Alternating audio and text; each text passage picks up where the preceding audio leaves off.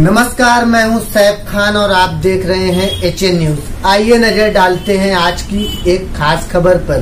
दिल्ली में भीख मंगवाने के लिए मुंबई में बच्चा चोरी करने वाली महिला गिरफ़्तार, बोरीवली जीआरपी की बड़ी कार्रवाई। सड़क पर भीख मंगवाने के लिए बच्चा चोरी, माँ, बेटा और बेटी बोरीवली जीआरपी पुलिस हिरासत में।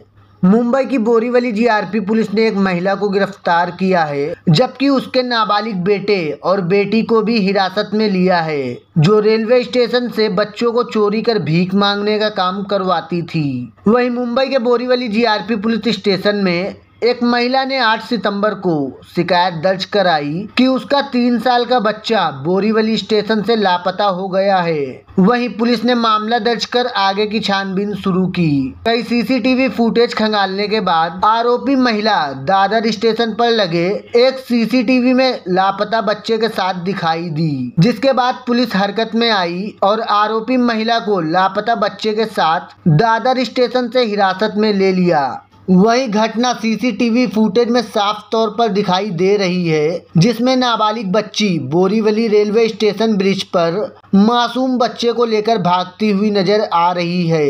यह नज़ारा बच्चा चोर का है, जिसमें बच्चे को चुराते हुए बच्ची दिखाई दे रही है। वही बताया जा रहा है कि आरोपी महिला दिल्ली की रहने वाली है और उसके दो बच्चे भी हैं। दोनों बच्चों के साथ महिला तीन दिन पहले मुंबई आई और फरियादी महिला के साथ अपनी पहचान बनाई। व मौका मिलते ही तीन साल के बच्चे को लेकर फरार हो गई। वही पुलिस के अनुसार इस वारदात में आरोपी महिला के दोनों बच्चों ने भी साथ दिया। तीन साल के बच्चे को पुलिस ने सही सलामत उसकी माँ के सुपुत्र कर आरोपी महिला को आज कोर्ट में पेश किया गया, जिसके बाद कोर्ट ने आरोपी को न्यायिक हिरासत में भेज दिया है। पेश है मुंबई की यह एक रिपोर्ट। आठ सितंबर 2022 दोपहर साढ़े बारह बजे के करीब एक कंप्लेंट महिला बोरोली रेलवे स्टेशन प्लेटफॉर्म तीन के ऊपर जो ब्रिज है, उसके ऊपर ब्रिज के ऊपर बैठी थी। उसके दो बच्चे ब्रिज के ऊपर खेल रहे थे और वो कंप्लेंट महिला जो है, कुछ खाना लाने के लिए ब्रिज छोड़ के नीचे बाहर चली गई थी।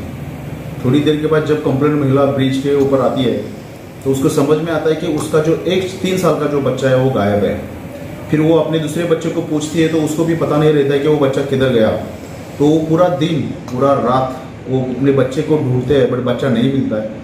फिर फाइनली वो बोरोली रेलवे पुलिस स्टेशन में कल दोपहर के बाद कंप्लेंट देने के लिए आ जाते हैं। हम हम लोगों ने फिर तुरंत उस लेडी महिला की कंप्लेंट कंप्लेंट रजिस्टर किया। वो तीन साल बच्चे को किडनैपिंग किया गया है, ऐसा कंप्लेंट था उसका तो हमने तुरंत रजिस्टर किया।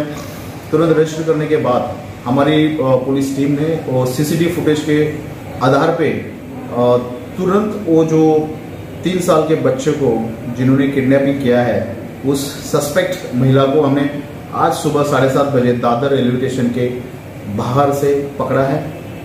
वो जो महिला आरोपी है, उसके साथ उसके दो बच्चे हैं। उस दो बच्चे का उम्र लगभग एक का सत्रह साल है, दूसरा बच्चा है, उसका उम्र लगभग दस साल है। ऐसे तीनों ने मिलके ये तीन साल के बच्चे को किडनैपिंग किया था।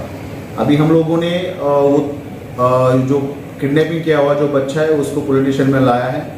उसका मेडिकल करने के बाद हमने उसके माँ के पास हैंड ओवर किया है और वो जो मेजर महिला है आरोपी महिला है उसको इस केस में अरेस्ट करके हम उसको कोर्ट के सामने रिमांड के लिए खड़ा करेंगे। सर वो महिला चोर जो है वो बच्चा क्यों चुराती थी और कहाँ की रहने वाली है? महिला आरोपी के पास इंट्रोगेशन करने के बाद हमारे पुलिस टीम को ये पता चला है कि उनका जो मेन इंटेंशन है कि जितना छोटा बच्चा रहेगा उतना ही उनको भीख मांगने के लिए ज़्यादा मदद मिलती है। वो छोटा बच्चे को चुराने के लिए उनका मेन इंटेंशन था कि भीख मांगने के लिए मदद करना। इसलिए उनके पास भी जो मेन आरोपी है, उसके पास भी उसके दो बच्चे हैं, एक दस साल का और एक सत्रह साल का।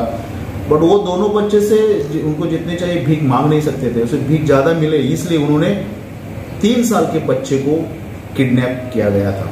और वही बच्चे को वो लेके, वो जो आरोपी महिला है, वो रहने वाली दिल्ली की है, दिल्ली रेलवे स्टेशन के बाहर एक झोपड़पट्टी है, वहाँ लोग रहते हैं। और ये छोटे बच्चों को आज ही वो दिल्ली लेके जाने वाले थे ऐसे हमें इंफॉर्मेशन मिली। अब तक इस तरह की कितने गुनाहों को अंजाम दिया है उस माँ ने उस महिला के पास हम लोग इंट्रोगेशन कर रहे हैं उसका रिकॉर्ड भी चेक किया अभी तक उसके ऊपर कोई केस रजिस्टर ऐसी इंफॉर्मेशन हमें मिली नहीं।